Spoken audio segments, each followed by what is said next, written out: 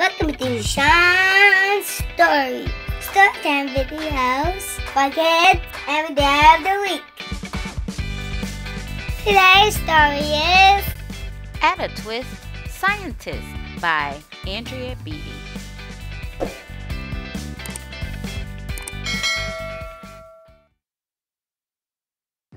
Ada Marie, Ada Marie, said not a word till the day she turned three. She bounced in her crib and looked all around, observing the world but not making a sound. She learned how to climb and made her big break, with a trail of chaos left in her wake. She ran through the day chasing each sound and sight and didn't slow down till she conked out at night.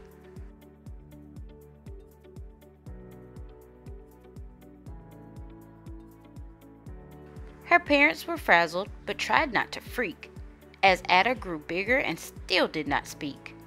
Clearly, young Ada, with lots in her head, would have something to say when it ought to be said.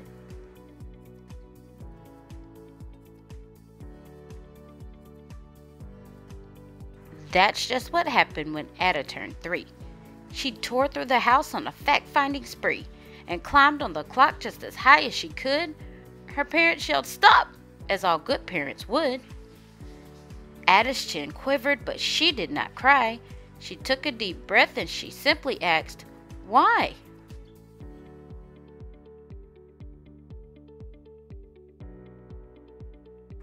Why does it tick and why does it talk? Why don't we call it a granddaughter clock? Why are there pointy things stuck in a rose? Why are there hairs up inside of your nose? She started with why, and then what, how, and when. By bedtime, she came back to why once again. She drifted to sleep as her dazed parents smiled at the curious thoughts of their curious child, who wanted to know what the world was about. They kissed her and whispered, You'll figure it out.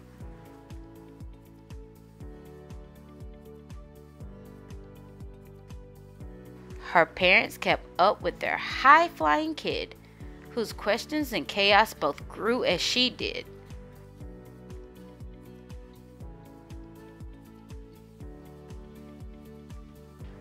Even Miss Greer found her hands were quite full when young Ada's chaos wreaked havoc at school.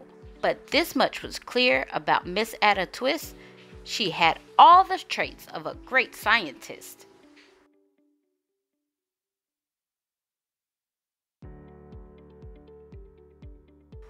Ada was busy that first day of spring, testing the sounds that make mockingbirds sing, when a horrible stench whacked her right in the nose, a pungent aroma that curled up her toes. Zowie, said Ada, which got her to thinking, what is the source of that terrible stinking? How does a nose know there's something to smell?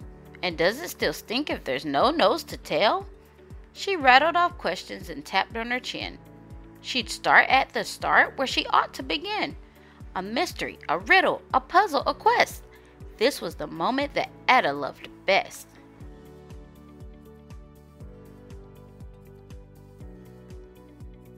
Ada did research to learn all she could of smelling and smells, both the stinky and good.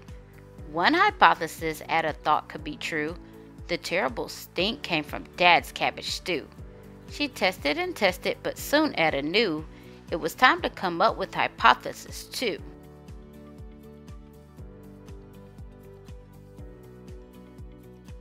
Then zowie, the stink struck again just like that. Hypothesis 2, it's caused by the cat. The cat couldn't make such a stink on its own. It needed perfume and some fancy cologne. So young Ada tested. The test was a flop. She started again, but her parents yelled, Stop!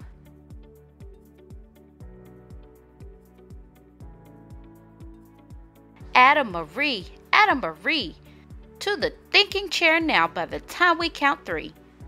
Enough, said her mother. That's it, said her dad. Her parents were frustrated, frazzled, and mad. Why? Ada questioned. Her mother said no. What? Ada queried. Her father said go.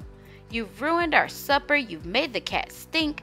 Enough with your questions. Now sit there and think. She looked at her parents. Her heart turned to goo. Poor Ada Twist didn't know what to do.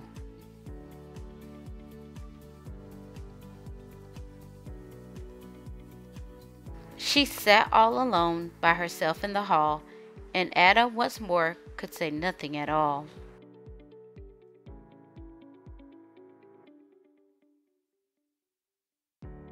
And so Ada sat, and she sat and she sat, and she thought about science and Stew and the cat, and how her experiments made such a big mess. Does it have to be so? Is that part of success? Are messes a problem? And while she was thinking, what was the source of that terrible thinking? And Ada Marie did what scientists do.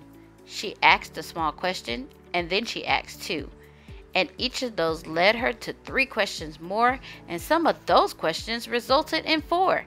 As Ada got thinking, she really dug in. She scribbled her questions and tapped on her chin. She started at why, and then what, how, and when. At the end of the hall, she reached why once again.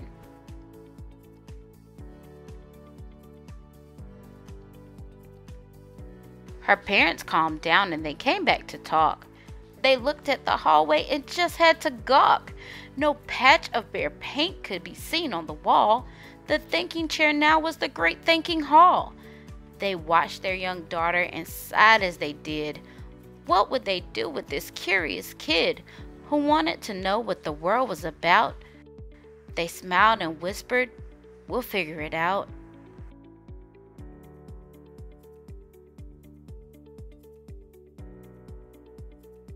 And that's what they did because that's what you do when your kid has a passion and heart that is true. They remade their world, now they're all in the act of helping young Ada sort fiction from fact. She asks lots of questions. How could she resist? It's all in the heart of a young scientist.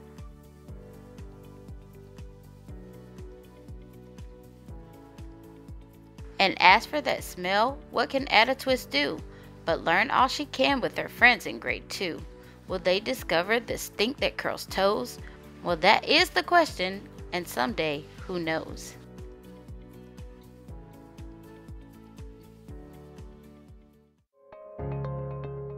She sat on Rooster's birthday cake. Oh,